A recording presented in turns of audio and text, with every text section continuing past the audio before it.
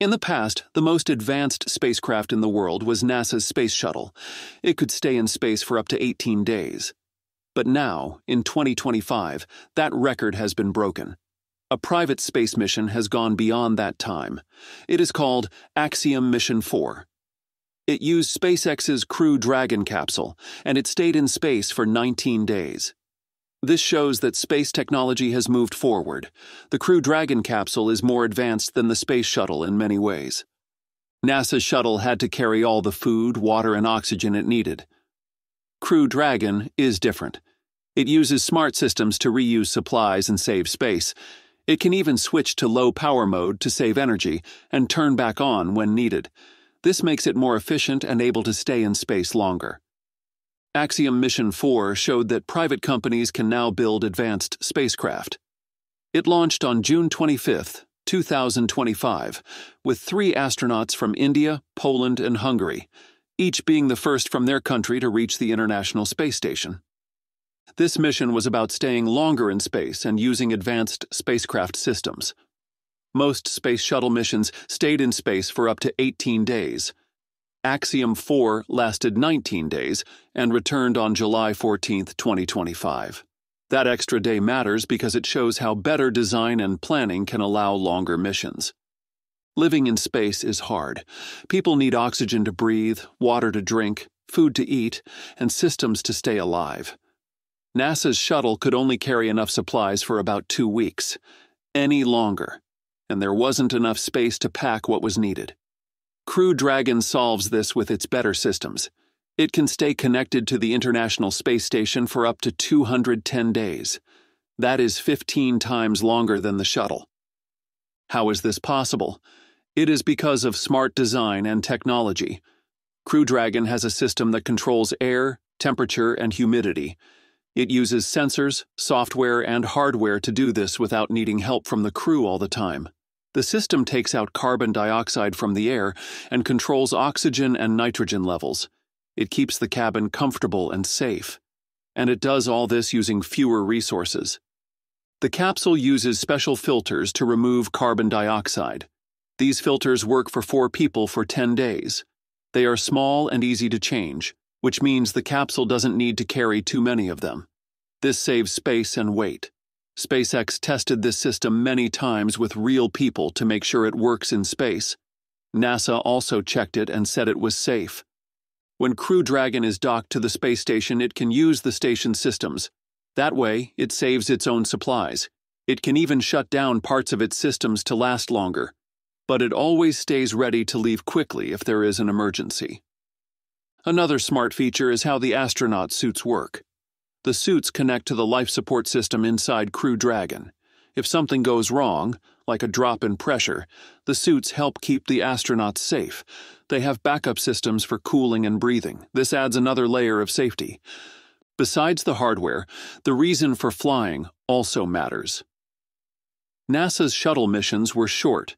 They launched satellites, fixed space equipment like the Hubble telescope, and helped build the space station.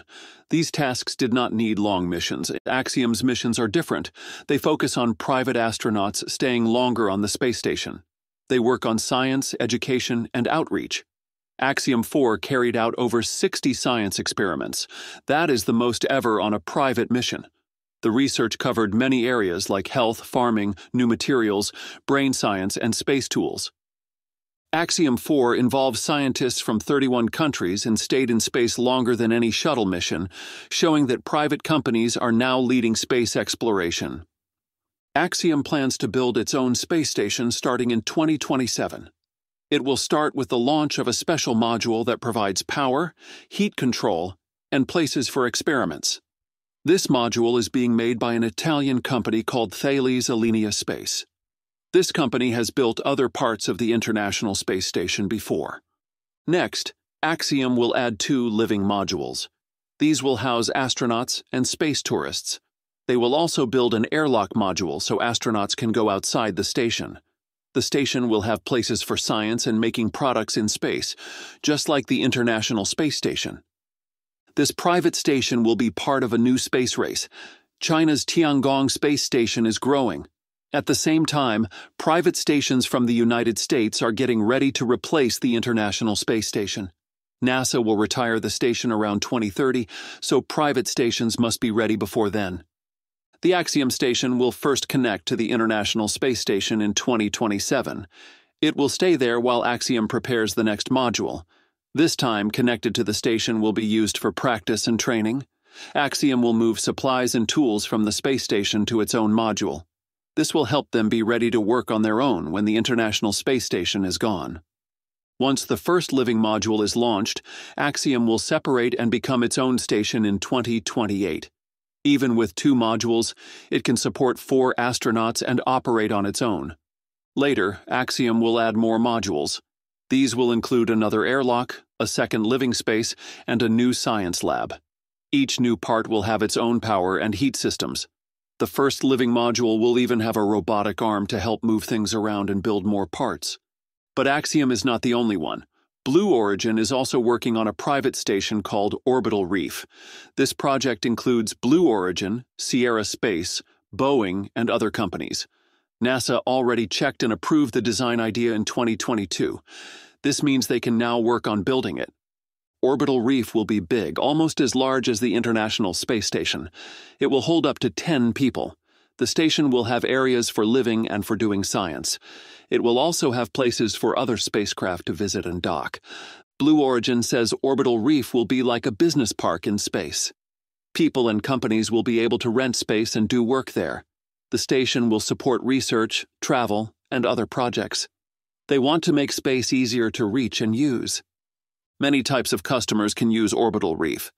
These include space agencies, tech companies, and countries without their own space programs. Even media and travel companies might get involved.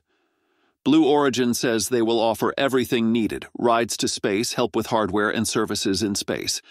They plan to use Boeing's Starliner spacecraft and Sierra Space's Dream Chaser to bring people and cargo to the station.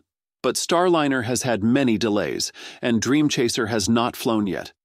Most of the orbital reef parts will be launched on Blue Origin's New Glenn rocket, which has only flown once. NASA gave the Orbital Reef team $130 million to help them build the station. This money came from a program that supports private space stations.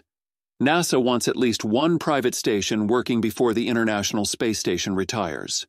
Two other groups also got money from NASA.